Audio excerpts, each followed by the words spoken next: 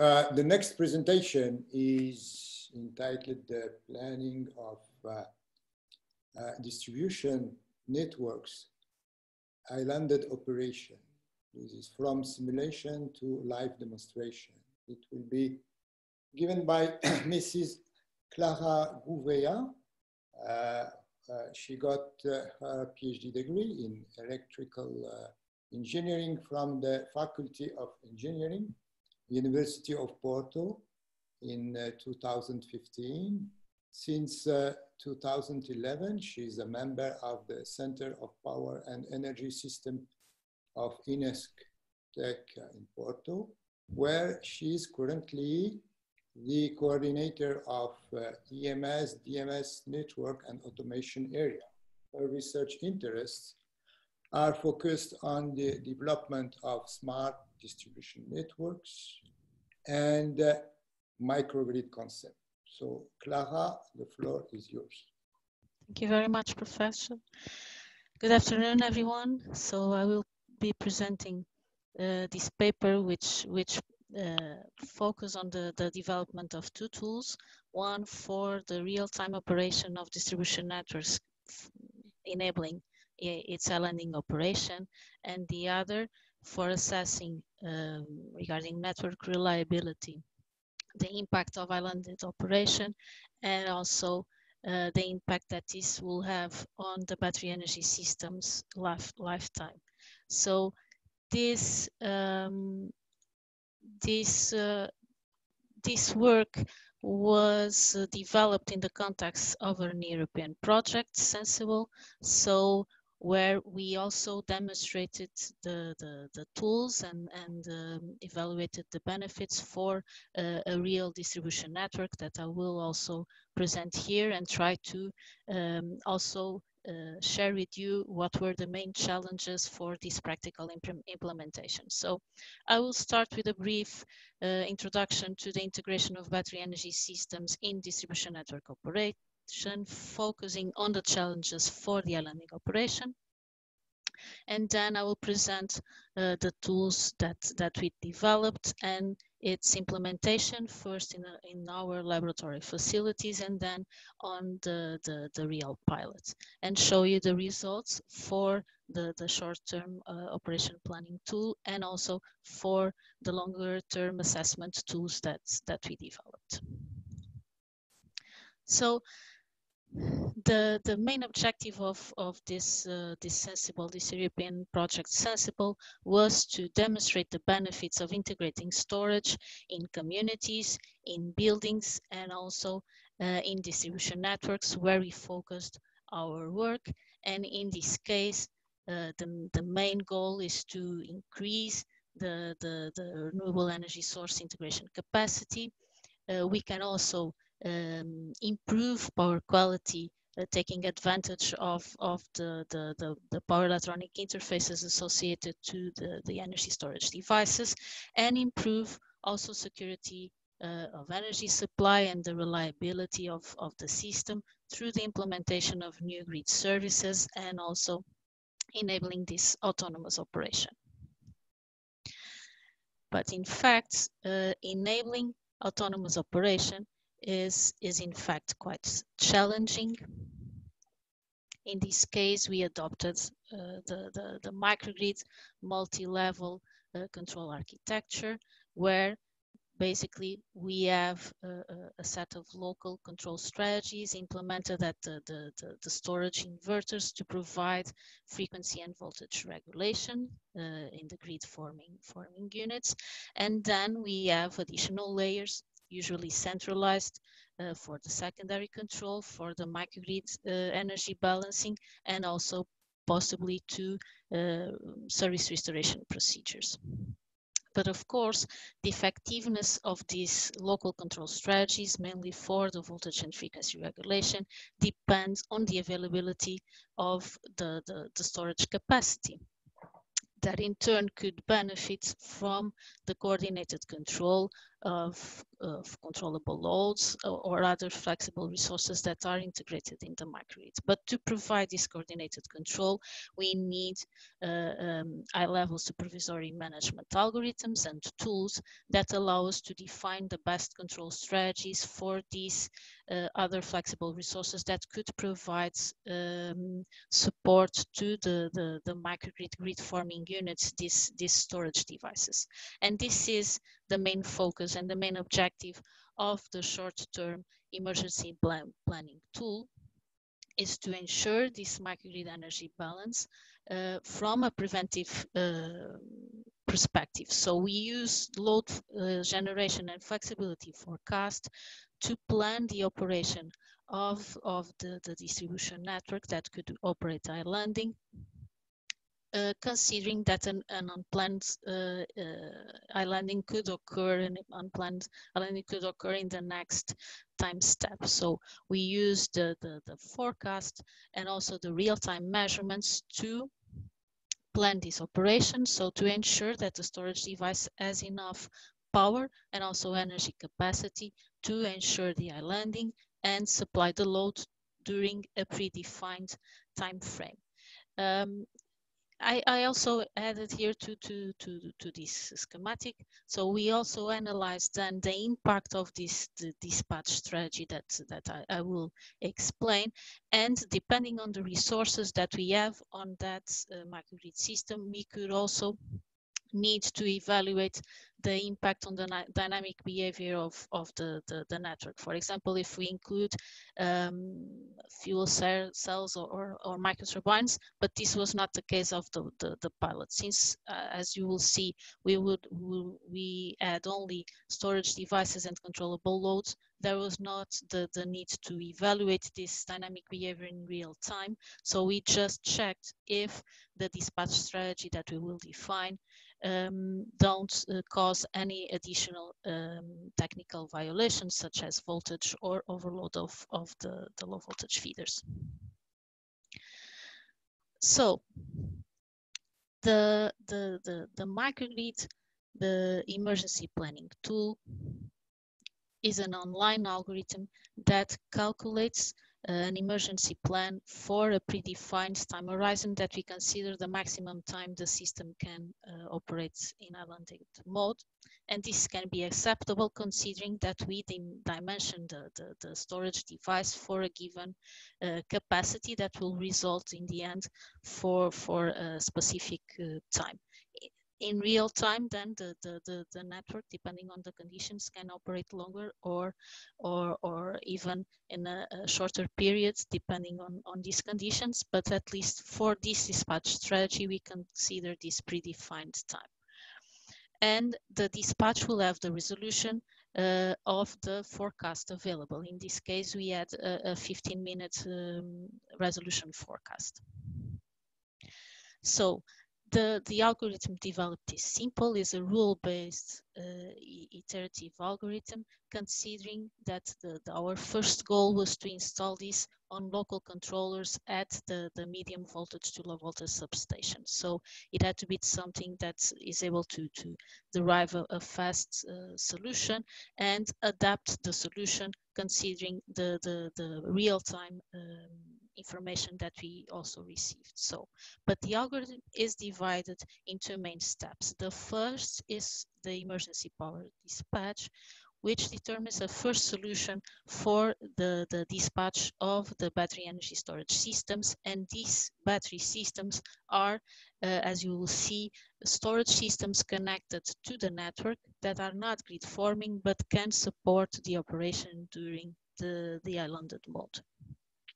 So we uh, define this dispatch strategy based on weights calculated on based on the reserve, the available power reserve capacity, but also on the energy capacity of the system that is calculated considering the load, the load forecast.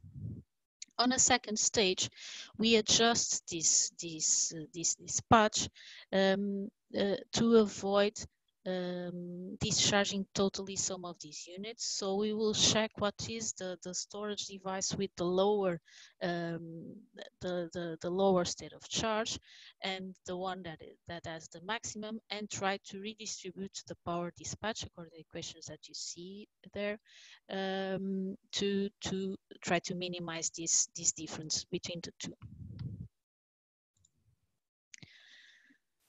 So the, the tools were uh, implemented uh, considering this um, management and, uh, and, control architecture that you see here in your left.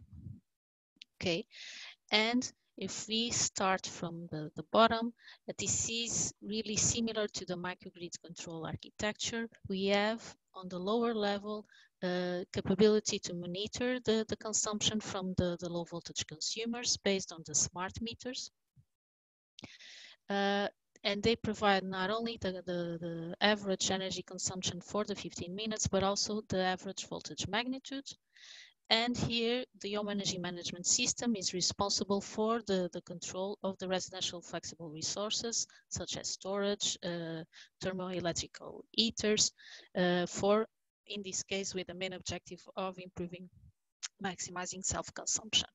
It could also participate through the market in, in, uh, in um, providing flexibility to support this operation. Uh, regarding the integration of storage, as you see here, uh, on your right, we have uh, installed devices in the low voltage feeders and in the low voltage, uh, medium voltage to low voltage substation.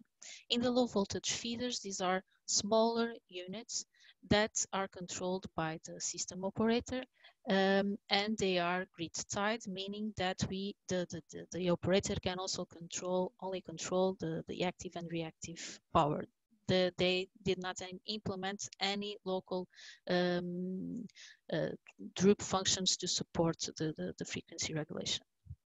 And here in the medium voltage to low voltage substation, we have the, the storage devices with the grid forming capabilities. So we had a, a, a, battery system and also planned a flywheel that's in, done in the, the, the pilot was not installed. So these units are monitored by the distribution transformer controller, which is a device installed in the medium voltage to low voltage substation that uh, not only receives and gathers all the information from the smart meters and also uh, the information coming from the, the, the, the battery energy systems controllers uh, and can also send the set points for, for that uh, storage units. And in the for enabling islanding, this controller also integrated all the necessary automation functions to enable the synchronization to to the um, to the, involved in the reconnection of of the the islanded system to the main grid, um, uh, and all the the management of the data flow for the tools the, man the management tools. So in this case, in the, the, the, the, algorithm developed could be implemented uh, locally on this controller, but as in a choice of the project, we the, they, it was installed on higher layer uh, together with the forecasting tools. Okay. And just to give you an idea of the capacity of the storage devices. So at the medium to low voltage substation, we have a 50 kVA, and at the low voltage feeders, we have a 30 uh, kVA and 10 kVA um, system and, and respective uh, energy capacity. Uh, and a larger storage system was also there from previous pilots uh, with a large capacity to supply this campus of Évora University. But first and and the, the, the first step before going to to the field and testing the the tools it was necessary to validate not only the the, the algorithms but also the local control strategies to test if all these uh, storage devices could uh, operate in a coordinated way. So we um, we developed a simulation model implemented in a real-time digital simulator.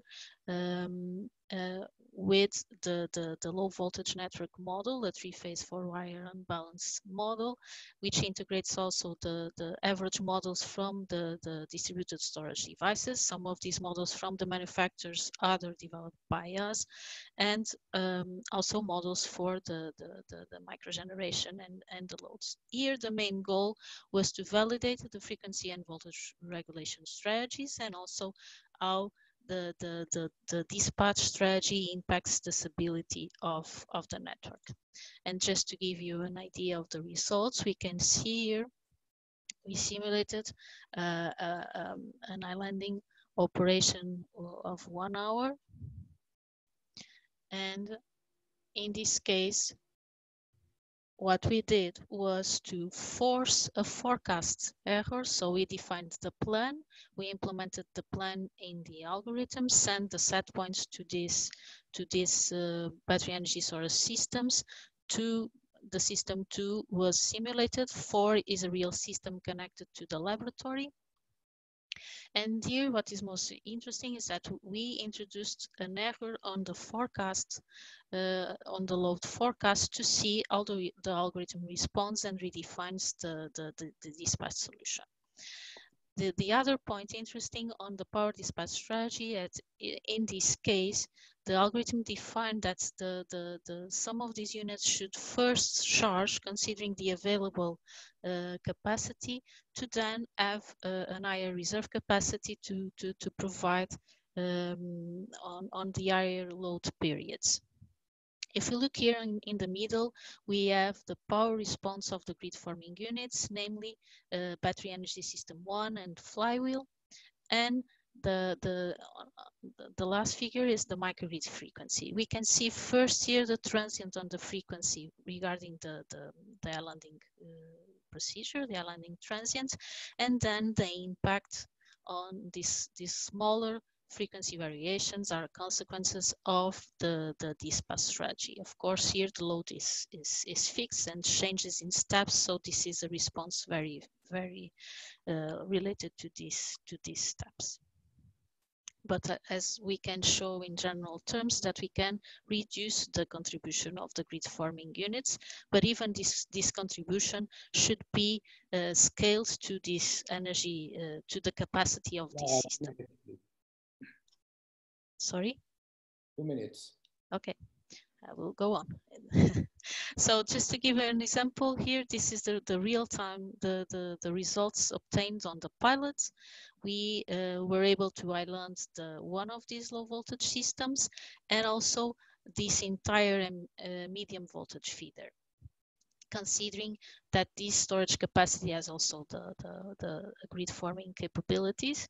And as you can see here, the islanding occurs here and frequency stays on the 50 hertz. This, the, the loads at that time was really low, uh, but the systems behave well and maintain frequency uh, as expected on the 50 and there, there isn't also uh, too much variations uh, on, on the voltage. Okay, very briefly to show you also the results from, from the long-term assessment. So in this case, the, the, the, the, we developed a tool that is able to provide information regarding distribution network reliability. Um, it's able to, to provide information regarding the, the expected uh, battery energy system lifetime and also some interesting indices regarding its use for, for given operation objective and also um, the renewable energy sources curtailment uh, resulting from, from the different scenarios. This is based on a sequential Monte Carlo simulation that is able to represent the variability of renewable energy sources and load uh, and also simulate these assets outages such as lines, substations, transformers, etc. So the, the, the, the, the, operation plan for the battery energy storage is uh, was simulated based on this optimization algorithm where we can force the discharge and charge uh, strategy based on C and D weights. And this one, this weight here is to, to load curtailment. So this should be high to, to avoid load curtailment.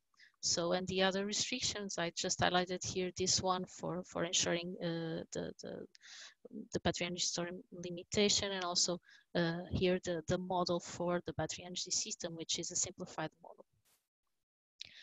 So in this case, the results obtained are consistent with this backup operation scenario. So the use of the energy storage is, is low and consistent with a reliable uh, distribution network with small with uh, a small number of interruptions. But here, the, the idea is that it's, it will charge after this, this high discharging period uh, consistent with the, the islanding uh, operation. And also just to give you an idea of the results, so we show that we can, uh, in fact, improve the network reliability uh, with the islanding uh, operation. The results will be more interesting as we have networks with high penetration of renewable energy sources. And I think the results will also be, uh, it could be more interesting uh, depending on the, the, the, how we simulate this operation strategy of the battery energy storage. Okay, just to conclude. The conclusion, please. Okay, I'm, I'm, this is the last one. So this is concluding, so we have demonstrated the visibility of islanding operation and shown the, the, the, the benefits for reliability um, uh, and the impact on the battery energy storage. Regarding difficulties on the demonstration, the main issue is the accuracy of the load forecast, which is uh, challenging for low voltage, um, and also low voltage network observability. Um, where here the, the network topology mapping is essential. Otherwise, we need other approaches, more data-driven, um, and also uh, ensuring real-time observability of the low voltage network based on the smart metering infrastructure can also be uh, challenging depending on the communication technology used. Okay, and that's it. Okay, thank you very much. You, for your presentation, we can uh, move now to the question so that you can read. Uh, do you see the question? Yes? Uh, let me just stop here sharing. Okay, to okay. see the questions. Okay. There are two questions. Okay, the first one is actually two questions, and there is another uh, question mm -hmm. that is coming after.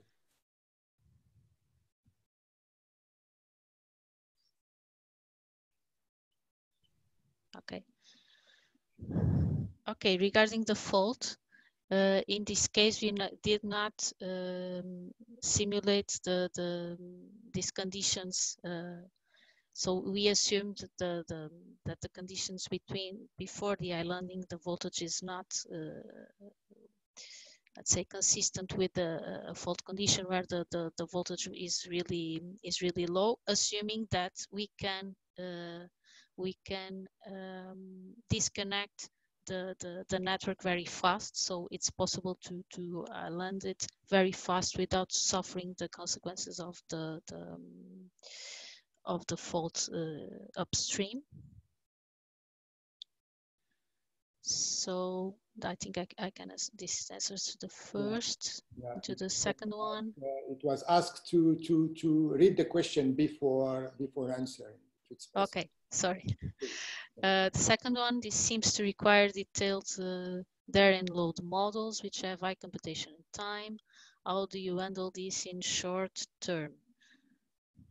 Okay, so uh, the, the real-time uh, algorithm that I presented, um, the, the load is assumed uh, constant, okay? Um, and also the, the, the PV. So let's say I consider the, the average value for the load and for the, the renewable energy production to assess the, the, the, the dispatch for the next, for the next uh, 15 minutes, okay? We uh, uh, analyze this and see the impact, the dynamic impact of this dispatch, considering a, a more detailed model, a dynamic model of, of, of the network to see if this is acceptable. And I believe, considering the sources that we have on, on the, the distribution network, it was, it was acceptable. Okay, so Okay, if you one. can give a quick, uh, a quick uh, response to the next one. Okay. There is uh, still other questions, but uh, you will, uh, yeah, try Okay. to answer to the, the this next one. How was Oh, the location? okay. How was the connection location of the battery, the various battery energy system on the low voltage determined? Okay, this this was done by by other partner on the project through simulation to see what would be the most interesting uh, regarding the voltage unbalance uh, because this is a rural network and and the impact on the voltage congestion uh, and so on. But this was the, this was simulated, yeah. Okay, Okay. and uh, very quick. Then uh, the last one, do you on chat uh, see. Do you do something special for the reconnection after the islanding? Just few words, otherwise you can be. No, contact with the we did we did not do any special because the, in this case the storage devices enter in automatic mode to to charge and maintain acceptable uh, state of charge limits. Okay, Okay, so sorry, I have to stop uh, here. Uh, so thank you, Clara, for your presentation. thank you very much. Sorry for the attendance to not continue this uh, discussion, but I think uh, now you know Clara, you can ask her directly questions through email. Thank Okay, you very much, thank you very much. Let's move